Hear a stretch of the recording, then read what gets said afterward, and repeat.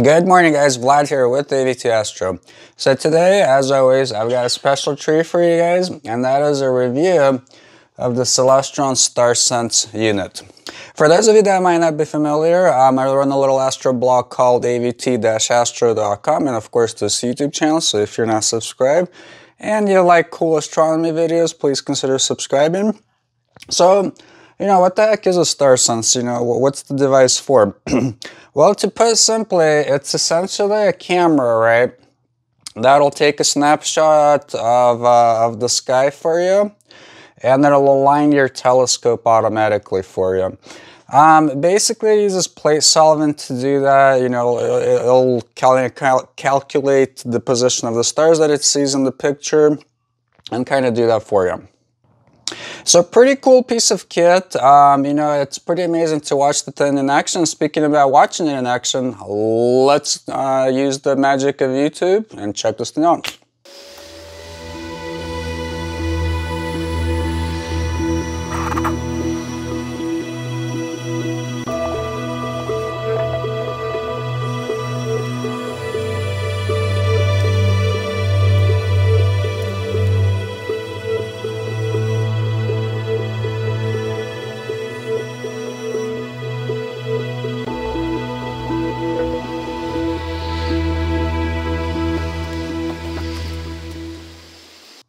All right, so as you saw, basically the telescope slews around. It'll take, you know, pictures of a few different portions of the night sky, calculate stuff out, and it does the alignment for you. So it's a pretty cool system, pretty amazing to watch. Like if you got friends or family over, you know, you're probably gonna impress them.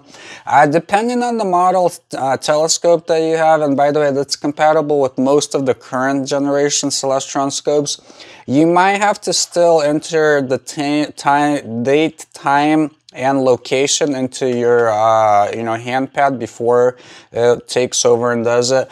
If your scope does have a GPS unit built in or you have the GPS add-on which is you know like this guy here it'll actually pull all that data automatically and it's a full um, fully you know like automatic alignment. Um, you know, so I've used this uh, my current backyard, as you guys saw, it's got an open view of the sky. Usually if you've got an open view of the sky, this thing works great automatically. It'll do the alignment. It's pretty quick. I'd say it does it in less than five minutes. I mean, I'm not gonna, you know, like brag, but I, I can probably do a manual alignment, like a two-star alignment quicker than this thing can, but not too much quicker. Um, it is convenient, you know, you flip a switch, you walk away, you come back, and your scope is aligned, so I will say that. Now, um, and then I said I could do a manual alignment quicker. You know, I'm a pretty advanced amateur astronomer, so, you know, I'm pretty familiar with the night sky. And, you know, I'd, I'd have to, like, really try to do it quicker that. So, um, yeah. Now, what if you've got a, uh, what if your backyard has trees around, like your house is blocking, you know, the view partially? How does this thing work? Um, at my other house, um, that's kind of more in the city, uh, about half of the sky is blocked by trees on one side in the house, right? And I've actually tried this thing out in fully auto mode, and um, I have had issues with the struggling to do an automatic alignment. Now you can overcome that basically instead of having this thing just be fully manual, right?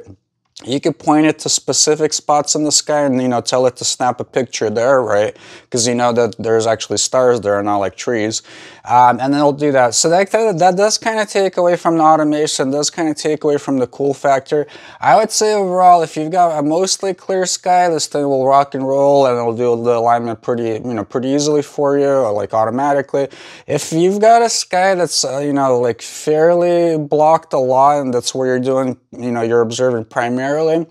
Um, you know, it, it, may or may not work. Um, so yeah, that. Um, so what use scenarios would I consider this to be, you know, like a really useful accessory? Like if you live in the city, you've got a pretty, you know, open view of the sky, but your sky is just really light polluted. You know, sometimes it's really just even to see the alignment stars, right? I think this thing is really cool. If you're one of those people that's just really short on time, you know, you've got two jobs, you've got kids, uh, feels like I'm talking about myself. But, but anyway, um, uh, you know, and you're just really short on time. Um, and you know, like time is at a premium for you. This is really cool because you know you uh, take it outside, you flip the switch, and you know it does the uh, alignment automatically for you. Um, if you've had like previous scopes and you know you just struggled to do the alignment, which actually you know um, it, it, does come up pretty often. Like I used to volunteer at the telescope workshop before the pandemic kind of you know uh, shut everything out with my astronomy club, and that was like one of the most common questions that we get is how to do the alignment on these things and kind of go through it. So it's you know like after you do it a few times, it seems second nature, but you know your first couple of times it is kind of intimidating. Uh, and this kind of does overcome that. Now, having said that, though, the first time you do set this up, you do have to calibrate the camera to the scope. So there is some, you know, setup involved in that. Um, but you only have to do that once, and once you kind of grunt through that, you know, you're kind of good to uh, good to rock and roll. All right, had to get a little coffee boost going on here. So, what I recommend the Starsense you know, if the, the if the accessory was you know like one two hundred bucks, I would say yeah, you know, get it. Um, what they've been, you know, I think they're like retailing for around 400 bucks right now.